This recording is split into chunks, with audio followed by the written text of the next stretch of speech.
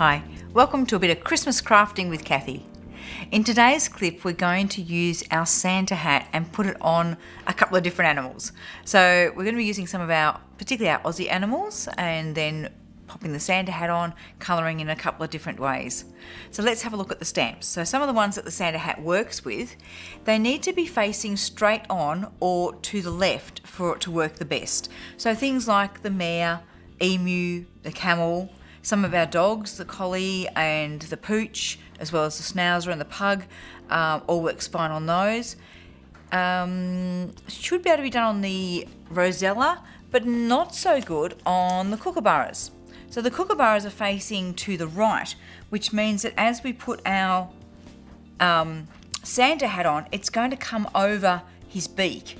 So it doesn't, it just needs, doesn't go on the right way on him. So you need to look for an animal that's looking in the other direction, similar to what we've done on the mare here. Just going to show you a bit with this one. I haven't stuck it together yet, so I could show you what we did. So I've stamped, uh, as the background, I've stamped the holly and used the, just stamped bits of it around the card with the uh, VersaFine Spanish moss and then coloured the edge of the card with the Spanish moss as well. So sometimes some of your stamps can be used as border stamps as well as as a feature stamp. So then we've stamped the mare. I've just brushed on a bit of dry colour uh, just from the uh, smoky grey ink pad. And the hat I've coloured in with one of our Pentel brush markers. On the snowy part of the hat, I actually put some white liquid pearls and then just sprinkled a little bit of loose glitter on it and that makes a great snowy effect. So I just wanted to let you see how the, so it's sitting over one of her ears, and I'll show you in a moment when we actually do the samples how we actually put it together to make a card look like that. The other thing I wanted to comment on was the Merry Christmas. Now this is called Fun Merry Christmas. And we have Fun Merry Christmas and Fun Seasons Greetings. But in the same font, we also have a couple of greetings. So you can sort of mix and match those ones together a little bit. So I try and do a few things that you, so that you can use them together, particularly with our sayings. So that's a couple of Christmas sayings that go together. This is another little one just to have a look at. This is using the Border Collie. He hasn't been coloured at all, he's just been embossed in black, as has the hat. I would always, if I'm going to emboss one, emboss the other, or don't emboss either.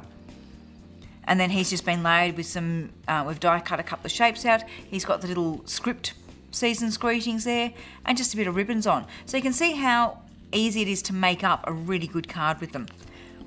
Okay, what I'm using today in today's sample is going to be the Romantic Merry Christmas and our emu because I can't resist a bit of emu. For colouring, we'll do our stamping, um, we're going to do a bit of stamping in Versamark and embossing we're also using the VersaFine Spanish Moss and the VersaFine Onyx Black. And then for our colouring, I'm actually going to use some of our Pentel colour brush markers. So let's get started. So to start with, I'm actually going to pop the greeting on the card. Uh, where's my little bit? I've got some bits of card cut already. So we're going to pop our greeting on, and this one we're going to use the Romantic Merry Christmas, and I'm actually going to colour it with the brush marker. So we just get our brush marker out and we just try and tap it to the raised part of the stamp. These brush markers do stain the stamps, so I really don't want to get it all over this backing area. I always try and avoid staining those bits because that's how you see where you're stamping by that backing area. Now once you've done your colouring, you can give it a little mist with water, but that would make it go a bit more smudgy. And I would like this to be, it won't be as crisp as if I'd use stamping ink, but I still want to be able to read it. I don't want it all smudgy. So it just takes a few minutes just to colour around the whole thing. And it's worth taking a few minutes so you don't, if you do too quickly, that's when you get it all on that backing. So just give yourself a moment to colour in. And because I want it to be, I'm not going to be mushing it, I actually do want to make sure that I've covered the whole of the design well.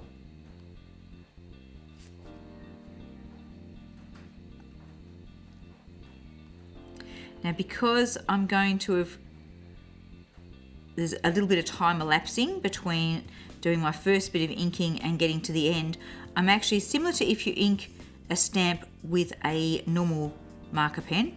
I'm going to just give it a little bit of a huff on it. And then stamp it onto our card. Now we're going to go over this in a few minutes with some clear embossing powder. So I just need to leave that sit and dry for a moment. So while that's drying, we're going to make our background card. Let's give our stamp a little clean. As I said, these markers do stay in the stamps, which is why I'm happy to have it on the design, but I don't want it all that backing area. Okay, let's actually create our background piece. Now for our background piece, I've already run a bit of card through, now this is the 300 GSM cotton blend cardstock, and then our main piece is on the 200 GSM cotton blend. That's because the background I'm going to be putting a lot more water on, so I want it to be a bit sturdier. But as you can see, even the 300 GSM you can run through an embossing folder and give us a nice raised design. Now in an earlier video, I did show how you could actually put inks onto your embossing folder to ink the background. But on this one, we're actually going to do more of a smushy background. And I'm going to do it in this other colours that I want to use on this card. So not necessarily traditional Christmas colours. We're going to have some turquoise. So I'm just popping on a little bit on my craft mat from the brush marker. And we probably want a bit more turquoise than brown. And then, but we are going to pop a little bit of sepia in there as well.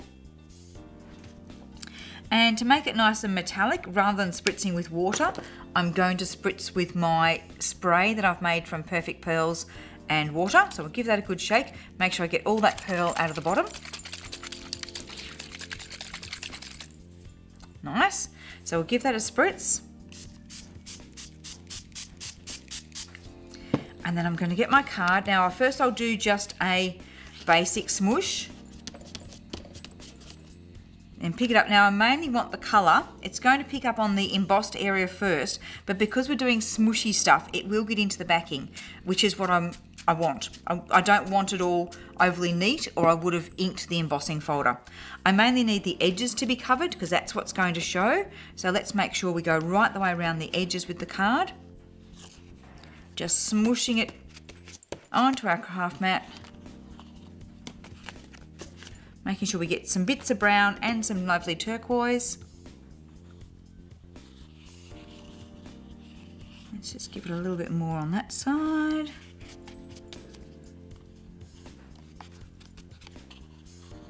Okay, now I'm just going to give oh, a bit more down the end there. Might have been where I was hanging onto it. Brilliant. Okay, let's give it another bit of a spritz with the metallic, just to make those inks smudge out a little bit more and then we leave that piece to sit and dry. So while that's dry, now this uh, embossing folder I used was a Couture Creations one called Christmas Vineyard. Um, I know die folders tend to come and go a bit. They usually have a release and then they're not available. So that might be something, but they always come out with a new range each year of really gorgeous dies. Let me grab my paper towel that I had ready, almost ready, give my mat a clean. Of course, if I was doing this at home, I'd probably create doing it at home. I am home. Yeah. If I if I was doing it not for a video, I'd probably create a couple of backgrounds from that nice mushy lot of colour before I kept going. Now, let's hope this is nice and dry. Going to go over it with my anti-static pad. And we're going to stamp over it because we can't now emboss over that pen. What we're going to do is ink up with our Versamark stamp over the top and then emboss it with clear detail powder. So I'll just get my powder ready and my catching sheet ready. I'm going to give that a wipe on me and make sure it's nice and clean. Okay, so now we're inking up with our Versamark.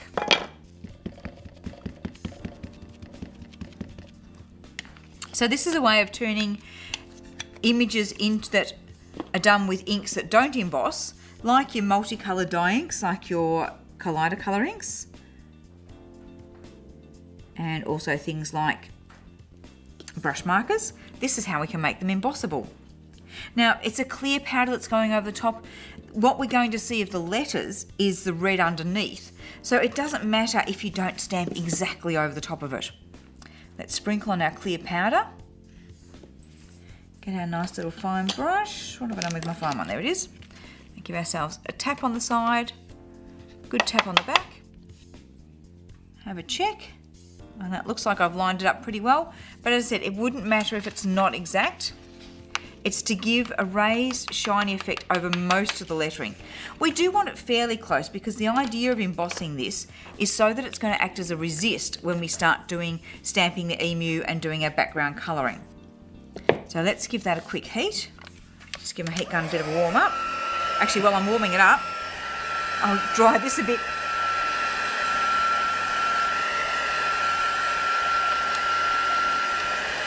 a couple of bigger blobs there that are going to take too long to dry, so let's speed that up a little bit. Okay, now let's give ourselves an emboss here.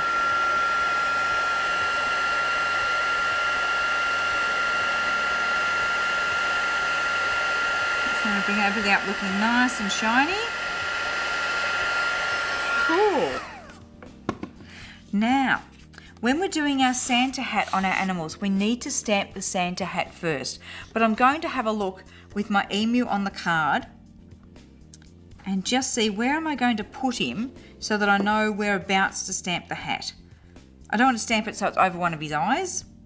So it's going to have to be fairly close to the top of the card and just sitting off to that side a bit. So now I know where I'm going to stamp that.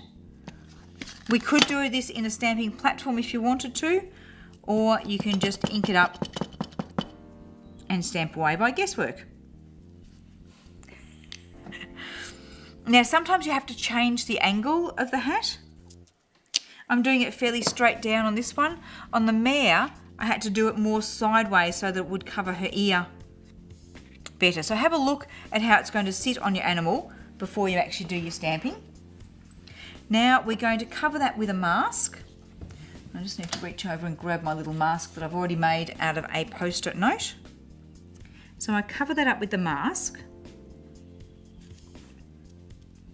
Now we ink up with the VersaFine. So this is where if I was going to be embossing, I would emboss the emu and the hat, or I do both of them with VersaFine and don't emboss them. You need them to look the same.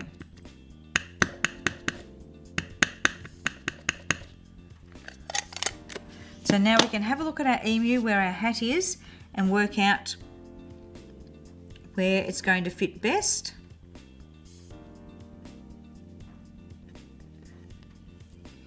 lay him down, give him a good press so that those eyes are nice and black on our card. Lift up. And now I'm just going to grab my, it was going to be, oh, there, my cloth that should be on my leg, my cleaning cloth, and just buff over our letters and just lift off any VersaFine that's sitting over the top of those embossed letters. So that way, because they were embossed, it's resisted the ink and so it's gone in underneath. Oh, that's a lovely technique for your hands, isn't it? Smushing in the background. Uh, and now when we lift off our mask off here, our little hat is to the front of the emu. So let's do a little bit of colouring for our emu first. So I'll bring up my work pad again.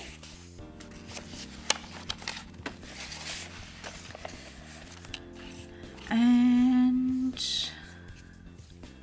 I didn't have an orange out for his beak. I think I do need a little bit of orangey colour. Maybe just a pale peach for his beak. I don't want to be it to be competing with the other colours that I want to use. So I think we just need a little bit of soft peach. So I'll use my medium water brush. Just make sure I've got a little bit of water flowing through there and not too much.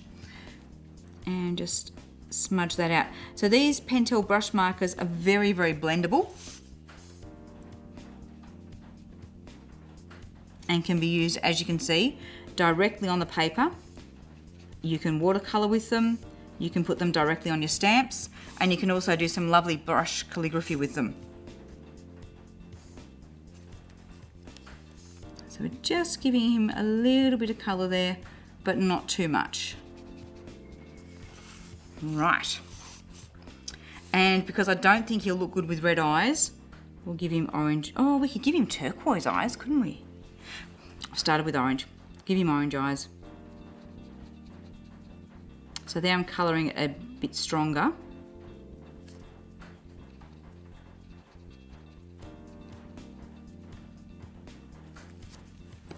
Now when I was doing the Santa hat on the mare, I actually coloured the whole thing quite strongly in the red, but you can, I didn't do any water on it at all.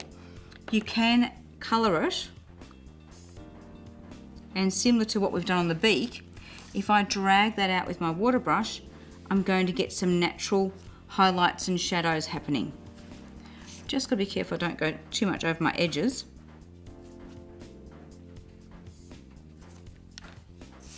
So colour it deeper where you think there might be a shadow.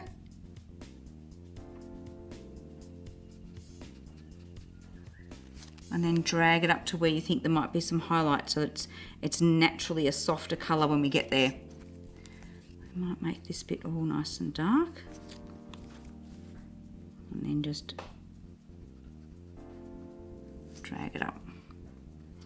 Now, if you're worried about going over your edges, turn your card around and do that last bit of blending just with the tip of the brush up to your edge. Now, I'm thinking that that's too much highlight, so let's just add a bit more red in there so that we're getting just the top part. Now, if I take, I've added too much red in there, I can just get my brush and just push a little bit away.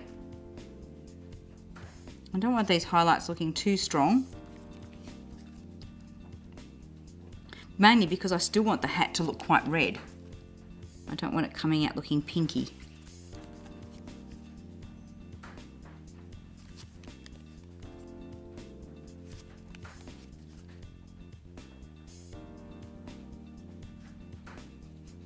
Okay. So we're still quite red, but we've just got a little bit of highlight there up along the top. Now, to colour our actual emu, this is where I'm going to use the turquoise and the sepia that we used on the, the background. So we'll do a little bit of turquoise in there first.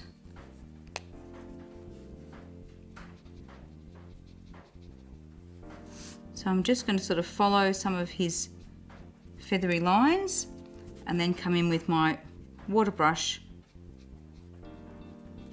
and just drag that out a little bit.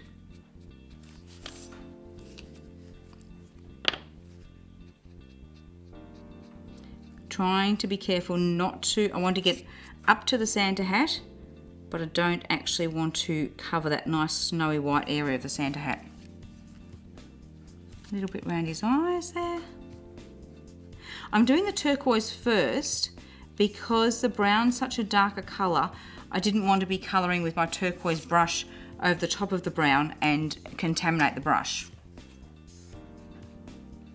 and just move the card around. So again, same with everything, so that you're working at an angle that's comfortable for you.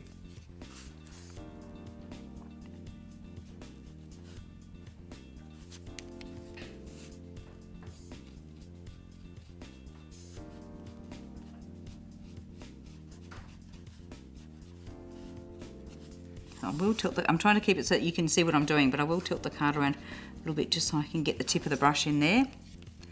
Let's add a little bit more. And again, you'll see that the where we've done the embossing, the clear embossing over that red lettering, that will re resist these markers. So you'll still be able to see our Merry Christmas over the top. Now let's get some sepia brown in there. Make him look a little bit more emu-like and less like, um, I don't know, what's a, what's a bird that's blue? A cookie monster. A cookie monster? It's not a bird. he does look a bit like Cookie Monster though.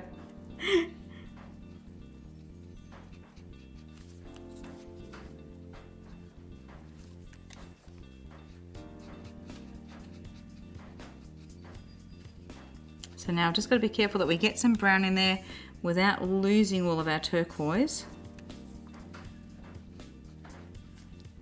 Just make sure my brush is still wet.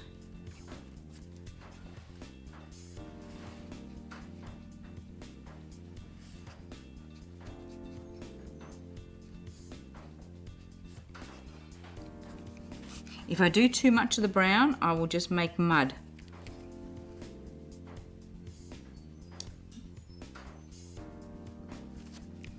But a little bit coming in closer around his eyes will give them a bit more definition. But then once it's there, just drag it out a bit to soften it. when you're colouring him, it's good to not go all the way to the ends of his hair, or as he actually, his, his well, hair or feathers. Um, his head's actually smaller than that, but these are there to create the look of fluffiness. So it's good to not colour right to the end of them.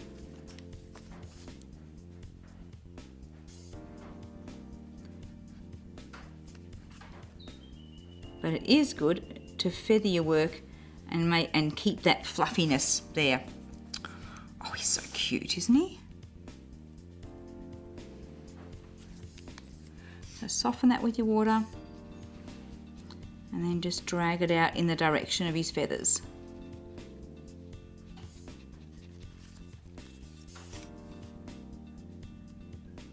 Now I wouldn't want to try and colour too much with my brush marker before doing my softening with the water or else it would dry too much and it's not going to blend as easily. You'll still get some movement but it won't blend as well. So it's better to just keep it that you're doing a smaller amount at a time so that it's more manageable.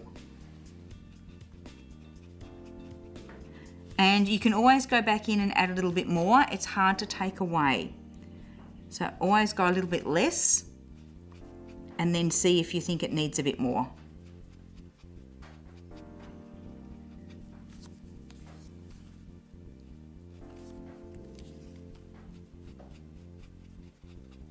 But this is definitely making him look more emu-like now and less Cookie Monster.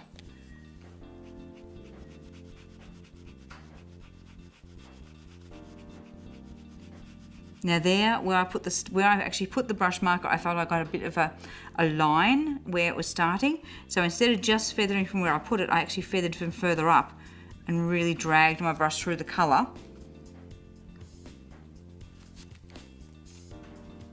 So we got better, better blending. Now if I make that a little bit darker down this end, it's going to make that Merry Christmas stand out a little bit more.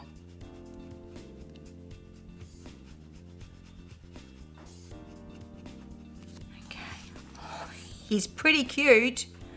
He's pretty cute. So I was just brushing out my brush just to clean it then. And uh, make sure I find the lid for the sepia brush. Pop that on. When you're putting your lids on, be careful you don't catch the any of the brush ends. You don't want to bend those around. You want it to keep a nice point, which makes it easier for colouring. So just be a little bit careful when you're popping the lid on. Now let's have a look. I'm going to get my rag and just brush off our embossed letters again. Make sure they're standing out nice and clear. I'd be careful when you're doing that. Don't brush vigorously and brush a whole smear of brown across your card. Just touch lightly. Okay, I'm very happy with the colouring there. So now I think that would be ready to layer onto our background. So you can see by bringing, we've got that little bit of texture showing, but we've brought the colour in that we've used on the card. And I can actually just, mm, I, I usually shade a bit of a border, but you know, we're actually looking quite good here. But I would like to put something fluffy onto his snow part there. So it could be um, liquid pearls. It could be, we could do um, a Versamark pen and some white embossing powder. I think what I'm going to do is just the liquid pearls and I won't put the glitter on this time. What I did last time was just sprinkle a little bit of loose glitter on while the pearls were still wet. But I want to see you to see it with just the shine of the pearls because that looks really good as well. So I just blob it. I don't actually want to cover the stamped outline. So I'm just doing little blobs up to the edge of the stamped image. And I don't mind if there's a few puffy peaks there we want it to look a little bit textured. So now I'm just going along to, to fill in areas. I tend to either do dabbing or do sort of circles. So we're blobbing that into the areas of the, up, right up to the edge of the line without going over it is what I'm trying to say. And then just some tapping or some circles just to make sure we've covered the whole lot. But yeah, leave it looking really textured. Don't try and smooth it all out. Now let's show that next to our mare and you'll see the difference between just the lovely shine of the liquid pearls on their own compared with if you pop that little bit of glitter over the top. Both really, really pretty. There's no right or wrong, just a couple of different looks. The other thing we could do if we did it with the white embossing powder is we could add a little bit of our Stickles glitter glue over the top. So let's line those up together so you can see our finished cards and I'll pop our other Border Collie one in next to there so you can see all three. So just some different looks with our gorgeous little Santa hat. Just showing how you can use it with our animals. Okay, I hope you're going to have fun with this one and just see, you could put the Santa hat on our ladies. Um, I'm trying to think what else. You could just put the Santa hat on the edge of a word, like on the end of the, uh, a, um, a greeting could look quite good as well. Uh, it could look good on the top of the tiddly tree. Let's see how many different things we can use the Santa hat with. Thank you for watching. I'll see you again soon for another Christmassy crafting. Okay, bye.